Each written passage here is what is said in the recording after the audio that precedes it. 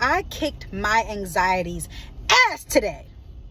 I'm so proud of myself. I feel like I'm coming down. Like I was literally having heart palpitations. So I struggle with really bad social anxiety as I've gotten older. Um, just because of life events, you know?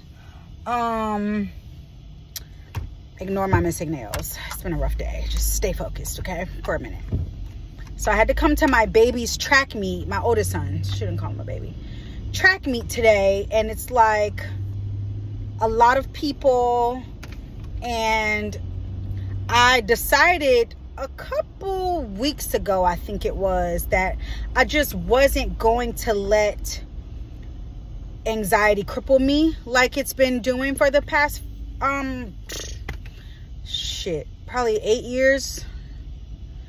Um, because I watched the Know For Sure podcast and it uh, Megan was talking about how B. Simone has developed anxiety because of her life events, you know, getting canceled and people being so mean and all this stuff. And naturally, I'm a bubbly person and love people and stuff like that. But when people, you get accustomed to people being so mean, it starts putting you in a little bubble, in a little shell. And I'm trying to protect so many people. Like, when my anxiety first started, I was trying to protect my job.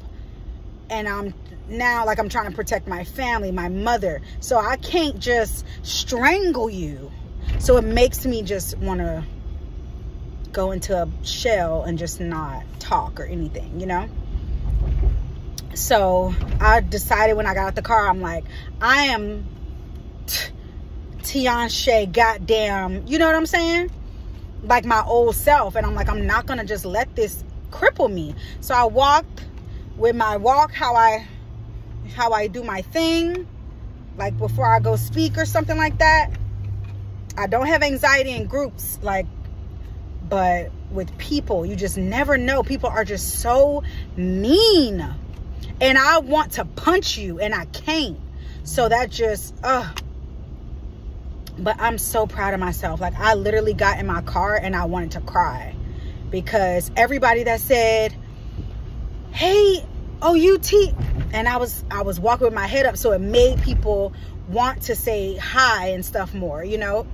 Because anxiety for me, like Megan mentioned with B Simone, is the trick of the enemy.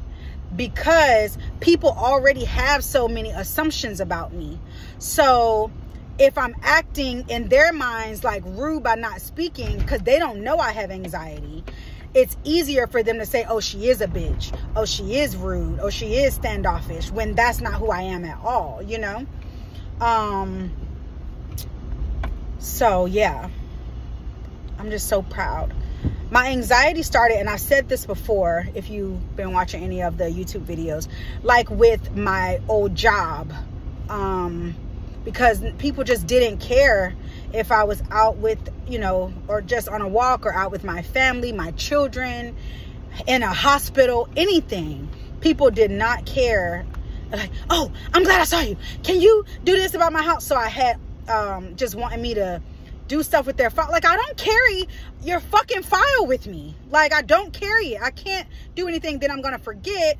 Can you just, it just was a lot. Then, you know, I'm a Vic and all that kind of stuff. So people have said, oh, you know, I can't stand this family member and da, da, da. and I'm like, this is my family. This is my family. Like I can punch you in your teeth, but I can't. Then my mom, people, I'm in the store, people come, well, I just don't know what your mom has done. This is my mama. This is my mama. Like, I wouldn't dare do some of this stuff to anybody, let alone somebody's mama. Then as soon as I would have dragged you through the tomatoes, everybody, oh, T Christ, Lord Jesus. Then with the restaurant, I have anxiety about even leaving the restaurant. Then like now, somebody's texting me, oh, I didn't get my shrimp and all that kind. If you're not dying, like just take a minute sometimes and just say, this girl works seven days a week. If I ain't about to die, like let's just let the staff that she pays their salary and a lot of taxes to do their job. Like, let's just, just let them, just let them do their job, you know? Then I got to go in this stadium and at my kids thing and he runs for my high school. I'm always worried that people will be mean to him or dislike him because of me and, you know, a lot of life events. Um, I've been on the news before for negative things and I just started feeling like, you know, people saying anything or people, you know, but I'm just very, I'm just so proud of myself right now. I'm just very, I just feel relieved and I'm not gonna let anxiety do, because I can't,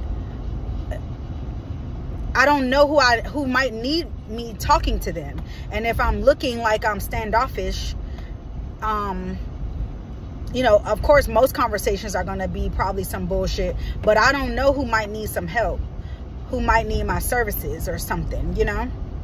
So, who just might need my energy. And I'm not going to let the devil attack who I am anymore. So, fuck you, Satan!